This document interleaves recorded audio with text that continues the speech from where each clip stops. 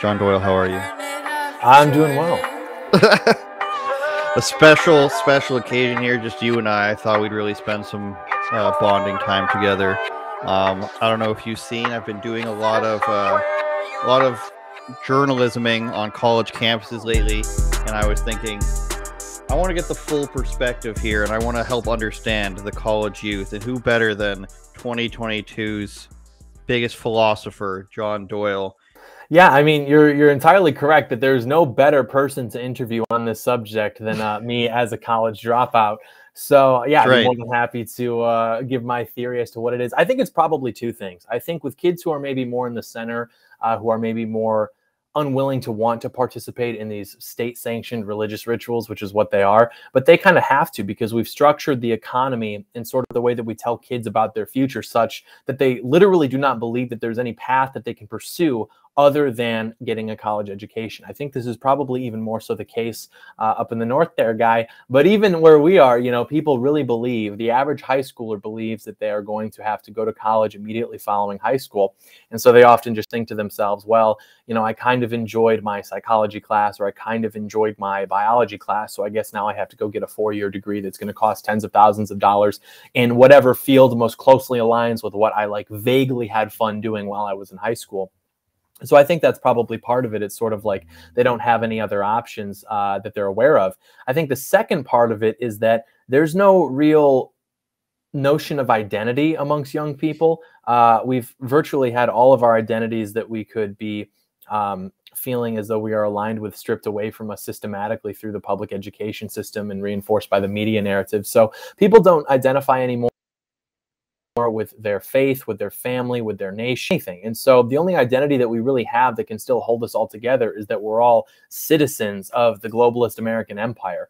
And so you, you know, display that identity by going along with the narratives. That is how virtue is defined. So the way that like a devout Catholic would display their identity by coming to school, for example, with ashes on their forehead, that would be a sign of virtue amongst my faith. Uh, we can't do that anymore. And so, or maybe we do do that, but people don't understand what that means. That's not a currency that is redeemable in the eyes of the public anymore. For like that is what a good person looks like. Now, a good person is solely defined by how willing they are to celebrate the rituals of the state. And one of those would be things like, uh, you know, not just getting vaccinated, but wearing, you know, the like I'm vaccinated little little you know sticker or you know the get vaccinated hashtags on social media, wearing the face mask, still doing so in your car, updating your profile picture on social media to a photograph of you in a face mask. Things like this are all meant to say to other people I am a part of the in group. I'm a part of the club. I, oh, this is what we're doing, and I'm a team player. But there's no real thought as to what this actually means if that were to be removed. It is like the NPC meme. It is just simply wanting to go along with the trends without giving it actually uh, any any introspection.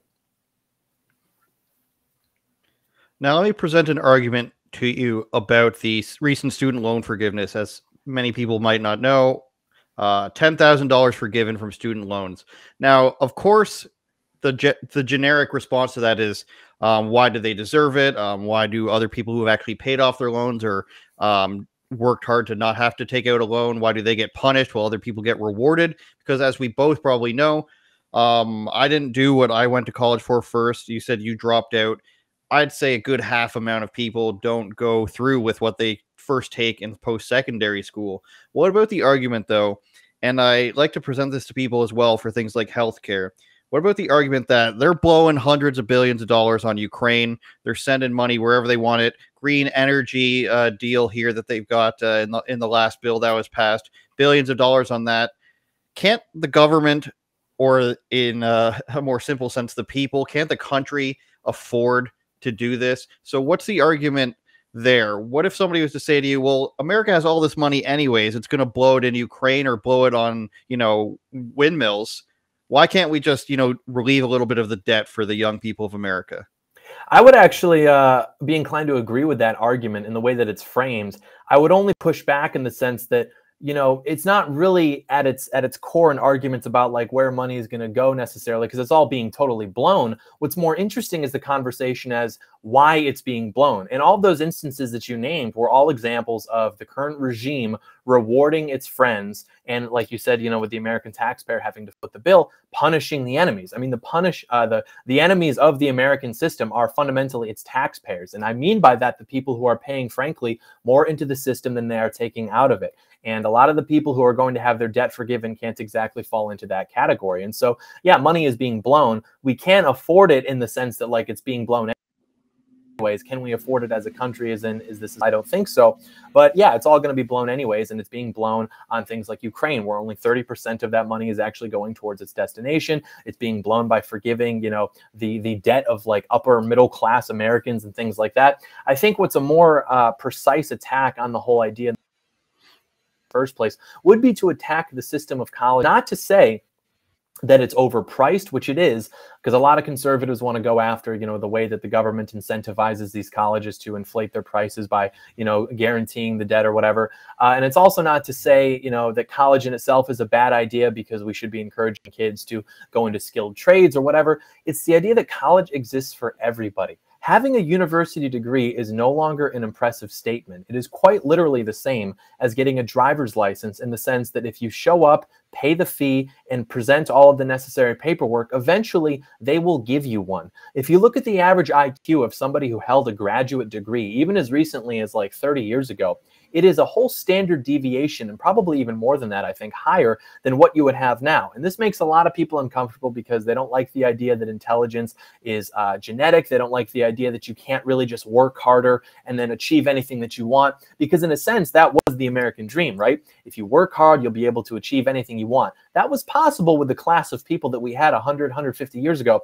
But when you import the third world, the American dream isn't going to really exist in that capacity anymore for a lot of reasons. But so people aren't really comfortable with the fact that college ads that exist now is a way of trying to basically purchase your way out of mediocrity. The same way that, you know, people always say about Catholics, oh, you know, they sold indulgences to try to purchase their way out of damnation. It's the same thing where you have people who are totally unexceptional, totally average, thinking that they can go purchase a degree and all of a sudden they're credentialed and they're experts and they're better than someone like myself who is a genius who maybe doesn't have that credential to his name uh, but it's just not the case. And so i think that there's something that really needs to be addressed there with how we deal with those types of people because now what we've done is we've cheapened the value of a college degree.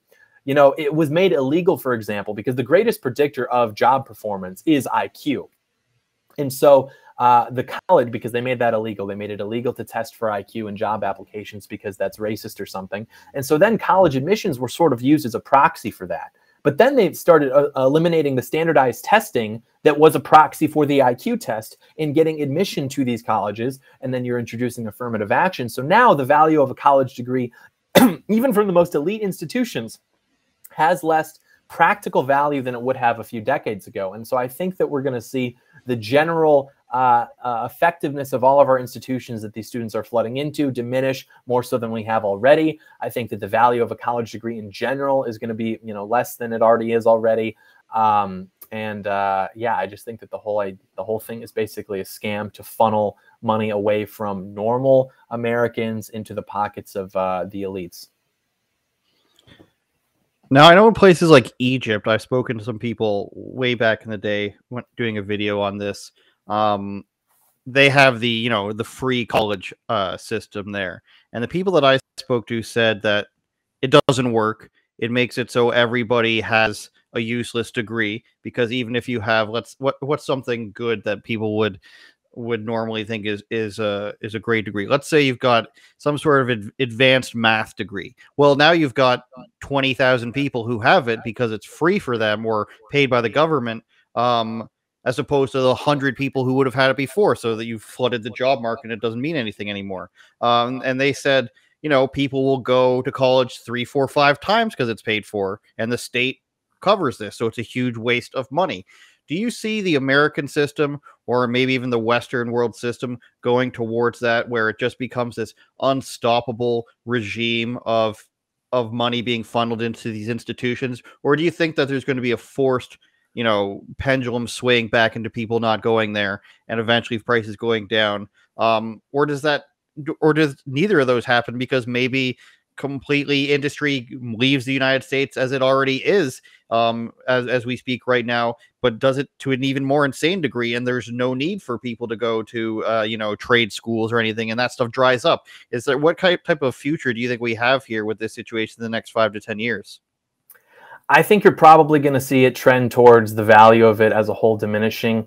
Um, what's interesting about the cost of college is that typically people who are more intelligent have more money.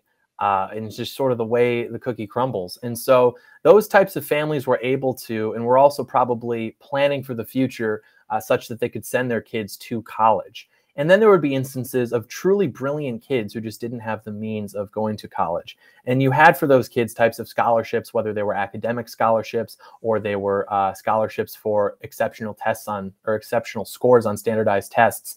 But now those have really diminished. Like they've done away with standardized testing, they've done away for those types of uh, more merit-based scholarships, and then they are now taking much more into account race and you know socioeconomic status in the sense of race, not in the sense of you know like some poor white kid in Appalachia, to really fulfill their admissions. And so this has really stripped away the chance of an exceptional kid in Middle America who happens to be white uh, to get into these schools like this and really do something brilliant. And it's given much more opportunity to unexceptional kids to take those scholarships away from them and and you know not do something brilliant. And that's what i think is interesting about it. You know you could have a brilliant person who happens to be interested in something like history uh, which maybe is not on paper as you know good of a degree as something like you know biomolecular engineering but if you have that brilliant person get that degree in history they are actually going to be able to contribute more to society than an average person who you know shows up to class and ends up getting a degree in like biomolecular engineering it's just the way that, that it, it's going to go. Uh, but now we've flooded the market. So you have all of these average people flooding all of these fields. And eventually the ladder is going to have a final rung but I think that it's going to have to reach pretty high. So if you look at the most advanced types of, of fields you can get into with all of these degrees, those are still going to be staffed by relatively competent people. But as the years go by, what we're seeing is more affirmative action type people getting placed into uh, you know the upper management levels of these things, and we're seeing less overall competence from all of these different fields that we're supposed to be funneling brilliant people into. And I think that that's really the scariest part about what the decline is going to look like. You're going to see all of the most important institutions in America be stocked by the class of people who would typically be employed by the DMV or its adjacent institutions. And that's really not going to be good for us. Well, I see a lot of parallels there between like the Biden administration and the Trudeau administration. Up here in Canada, um, it's there's so little. Yeah, laugh it up. There's so little separation between me working at a news company and the actual government. We've got like one layer of nerds away, and we see these people all the time in in both of the major parties here. And like you said, they're not very competent people. They are people who've never held a job outside of politics for the most part. They went to university for something I don't know that's that cost them probably 150 grand um, that their parents paid for, and now they're in these political positions and they're not smart people. Now, it took me a, a, few years to get to this point where I'm willing to blatantly point out that these are unintelligent people or you know people who don't actually know what they're doing they're not capable of coming up with reasonable policy or thinking for themselves they they're guided by twitter and what justin trudeau and his three other friends tell them but it's very easy to see what you just pointed out in action uh, from a day-to-day basis because it's not you know some big government conglomerate uh, there's no there's no real think tanks going on up here. I mean there might be behind the scenes but what we see from the people to what's being implemented is exactly what they say you know a few months earlier. Justin trudeau says he's going to do something and so do his little minions and they just do it. It's not good. It's not beneficial to anybody. But my question is is how much longer can this system last just funneling down or uh, flying down this road where we're just spending these billions of dollars? Because it seems to me in my opinion that they're they're just you know funneling as much money as they can to that theirs and them and theirs i guess the g and jers before eventually the wheels fall off or they get voted out or something. I mean, the amount that Joe Biden's administration is pumping into Ukraine and pumping into their own pockets and uh, renewable energy sources, stuff that they know doesn't work. We see the uh, that recent story, in Colorado where people's um, thermostats were locked on them. Now they volunteered for that, but that's just one example. California has uh, has blackouts, and then we see it in Germany and France, of course, and all these European countries that are even further left. Do they keep going until the wheels fall off, or does something in the checks and balances, as it were, in the United States prevent them from doing this all the way until some sort of governmental collapse? Do you think? I think they'll probably continue to do it until it reaches an inflection point where the American people can actually take their country back. And I don't mean that in the sense of like some grand uprising. I, I think that the solution will ultimately be political uh, which you know is, is a popular thing nowadays to say there is no political solution. It's like any solution by definition will be political. Like I mean, if you install a new government, that is political. Um, but I mean, this is the case throughout history. You know, when you reach the late stage of an empire or a republic or what have you, I mean, the elite class just tries to loot it. You know, they set up vassal states, they loot money, they launder money through mm-hmm. there, and so we're not seeing anything you know exceptional or unique. And it really is kind of sobering uh, to to meditate on just how our government works and how everything you see is. And, you know, we know that. We do know that. If you ask somebody whether that's true, they would say yes. But to really digest that and to understand its implications is a much more uh, sobering thought process than just kind of, of course that happens. You know, really understanding what that means. Uh, and I, I, couldn't help but think deeply about that as I was watching or Brandon, uh, Brandon's recent performance uh, in, uh, in Philadelphia.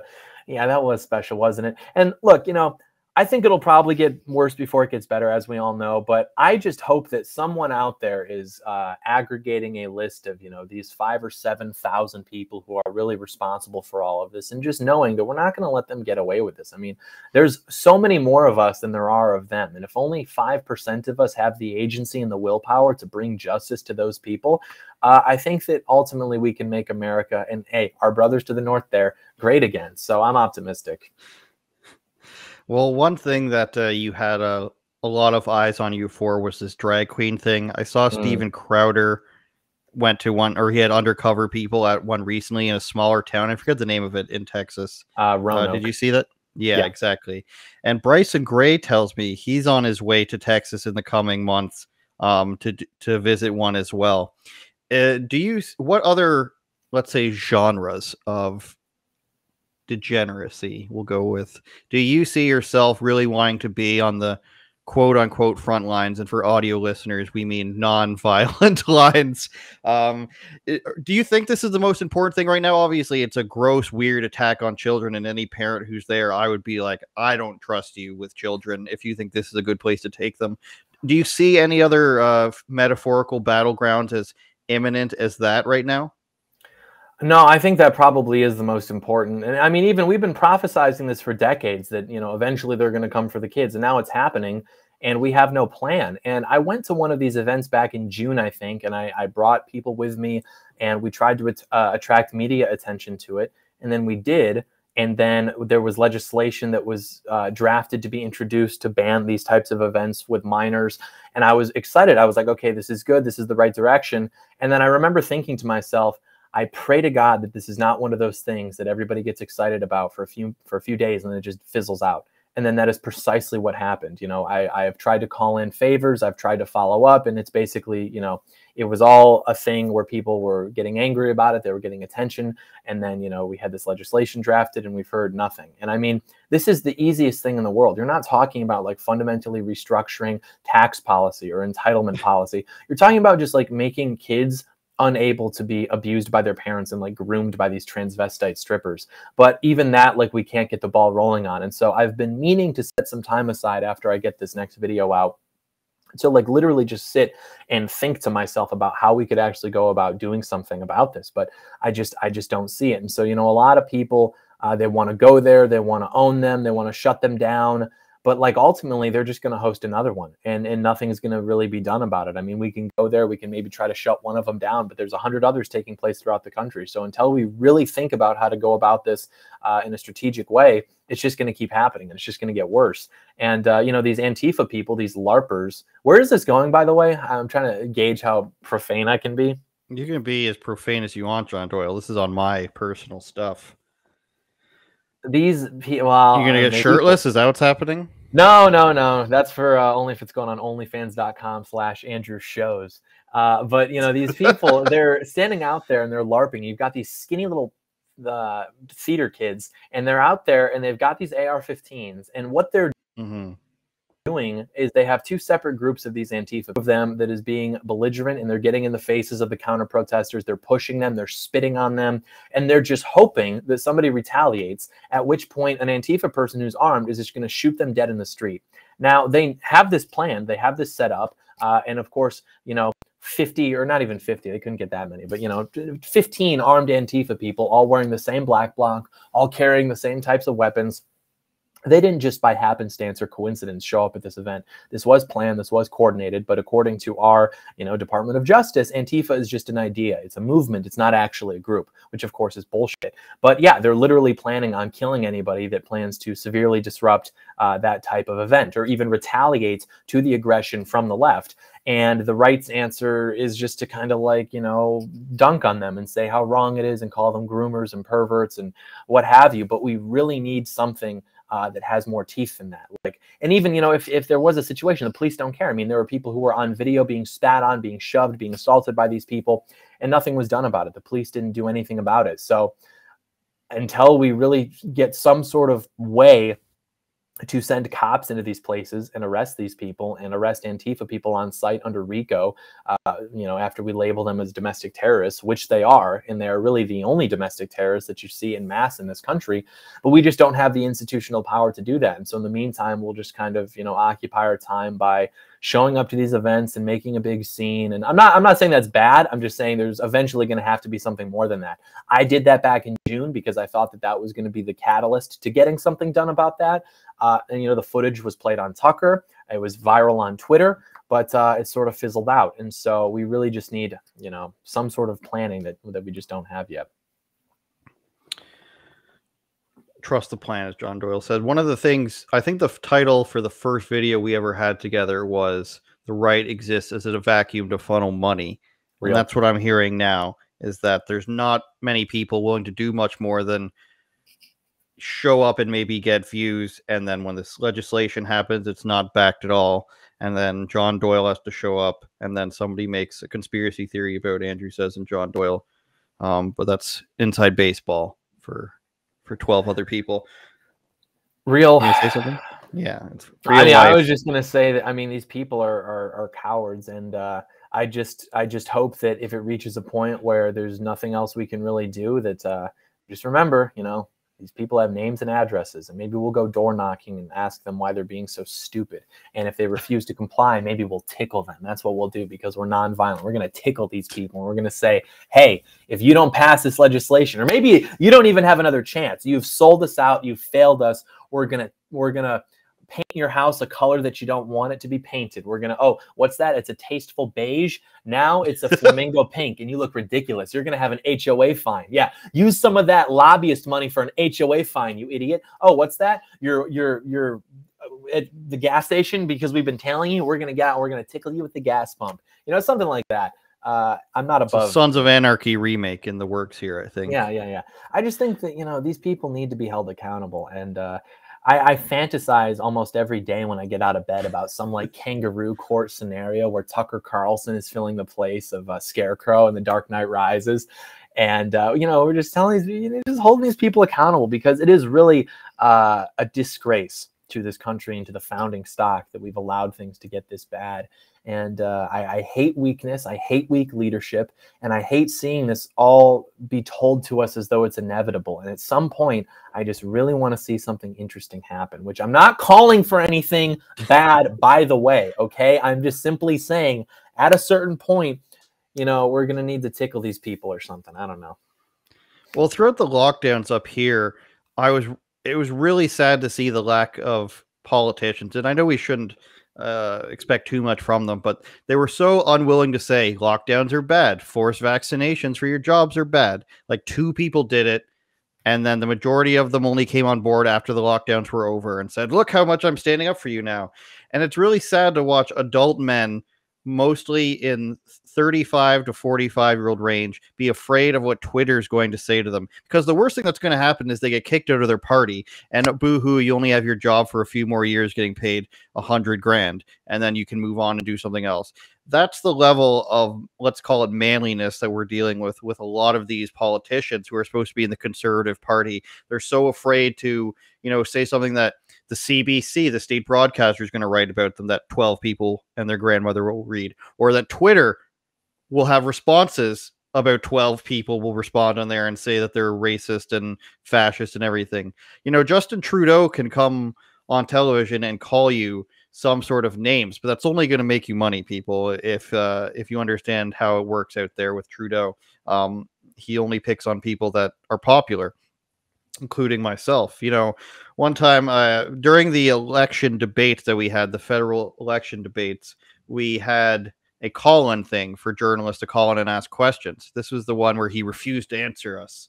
Um, and I got so drunk with power at one point when I realized all they were doing was a conference call. So they had all these journalists call in and they were just having them on a conference call. This is the level of intelligence, no special service or anything one phone, and I realized that all the other journalists could hear me. And I never posted this video, but I went on a 20 minute rant about how they're all pathetic and how they're not doing their jobs. And and this is just the the paper thin layer that I'm talking about between people and the government and holding them to account. And I just wish more people would say, "Hey, uh, author," or "Hey, politician," who's who's saying this on the day of we expect more from you, just like you're saying. That's why whenever I'm on my show and we read an article that's like, this is why fathers should bring their sons to pride marches, or this is why chest feeding's great. You click on the author, you see what they've got going on, and most of the time it's people that don't have anything else. They don't have the strong following. They don't have, you know, their opinions all over Twitter. They're actually paid to produce this sort of crap for multiple outlets so that CNN can steal from it, Yahoo can steal from it and post it on their own. So it's not strong individuals with strong beliefs, it's the useful idiots. And I wish people would start, you know, pointing this stuff out. And it's not that difficult, especially in country like Canada, to non-violently gain control of the narrative as long as you're not afraid of Twitter and everything. And that's what I got. Yeah, they uh, they literally like they think they're breaking Watergate, but they're nothing more than the little lapdogs for the regime. I mean, they're writing stories. They went into journalism because they're like, oh, I'm gonna I'm gonna get the sc- I'm gonna get the scoop. I'm gonna be bring truth to power. And they're writing stories about like Joe Biden eating double what is it, chocolate chocolate chip or whatever, or right. you know, the, the equivalent flavor. in Canada. Like they are nothing more than servants of an illegitimate regime, which is hostile to the people over whom it governs. And it's like they're the worst. There's no scum in this country lower than the journalist. I mean, you know, the elites are the elites, but at least they're like kind of open about it, like how sociopathic they are and how much they hate them are, are self-righteous. Like, you know, the elites claim to be, you know, maybe more knowledgeable, but they really never come out and say like, "Oh, we're better than you" in the sense of like morality. The journalists really believe that they're like the arbiters of truth, which is more annoying, especially too because the journalists should be the ones actually like holding these people accountable, but they're not. They're control. Yeah, they're uh, they're scum. They're literally lower than ants, and they should all uh, like just just leave. They should just leave. They should just go away. I like I watching you control your your verbiage there. Um, I they all hate these people. they, I hate them. Because when they're writing articles and hit pieces about you, they know that they're like they're not breaking a story that's particularly interesting. Like they're not writing something what they're doing because if it were interesting they would reach out to you for comment but they never do. So what they do is they they have an economy where all of their stupid little friends have written pieces about you that are all very vague filled mm-hmm. with embellishments and then they write a piece and they'll make an even further embellished claim about you and then for their source for that they cite the article that was written the, about their friend and so they just keep this going. So the entire hit piece doesn't actually have a narrative. It's literally just like a mad lib of all these out of context things that they've constructed about you. And what they're doing that for is not so they can like break the story to some grandmother in South Dakota who's never heard of you. It's because they want Google, when your name is mm-hmm. searched, mm-hmm. to come up with nothing but bad thing, bad thing, bad thing, so that the masses read that and they're just like, oh, this person's scary. Oh, I don't want to associate with him and uh, we're just afraid of that. So that's why even you know these politicians like you mentioned they're afraid of you know the article that's going to be seen by 12 people because because what? Like one of their donors is going to see it. It's like the correct answer to that is look are you perfect? Do you think you're perfect? No. Obviously all of us are not perfect. So the question becomes if we're all equally flawed why is it that I'm the only one getting things written about me by the establishment media? Why are all of these people who claim to be representing you not being attacked by the media? It's because they do not view them to be a threat. They perceive them to be an ally or impotent. They are controlled opposition, and I have contempt for them. Well, you see these movies. I watched one, I think, a few months ago. It was about catfishing.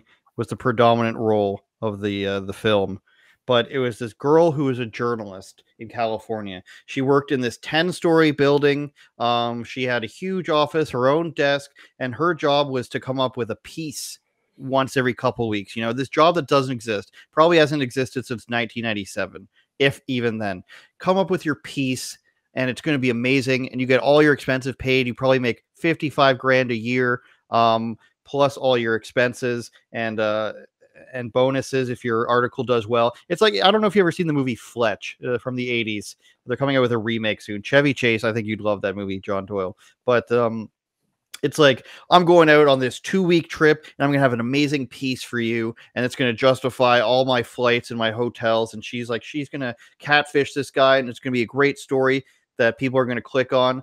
And I'm just sitting there thinking, as a person involved in the media that this doesn't exist and this is what you're selling as a dream to young women is that they're going to get to fly across the country and become journalists who only need to submit something up once every few weeks and as long as it's kind of good then they're going to earn a salary and it's not actually just going to be remote work uh, for $20 an article or five cents a word that they're actually going to have to do for vice news um, now this and vox all at the same time. So it's an over glamorization and I think uh, if you go back and watch movies with keeping in mind how they present journalists and how they present them as amazing. There's another one where there's a meteor coming to, towards Earth. It's not uh, the Aerosmith one; it's uh, an earlier one than that. But uh, they just make it so that the journalists they've really got such a responsibility, and you should trust them. And they're su- they're such great people. And this is what they've sold to young people.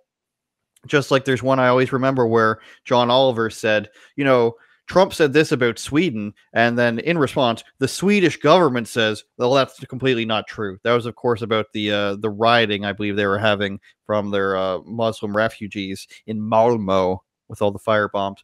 But that's just what how they present everything. They present it like this: these are experts. You can trust whatever they say. But I do think that uh, crystal ball is breaking a little bit. But it all it takes is breaking that frontier of the Snapchat with Jimmy Fallon and whoever else is on there, James Corden, and then you got Instagram coming in and this little weird bubble they keep they try to keep people in from birth. It's really it's really gross and weird. And I'd hope that every person eventually gets out of it.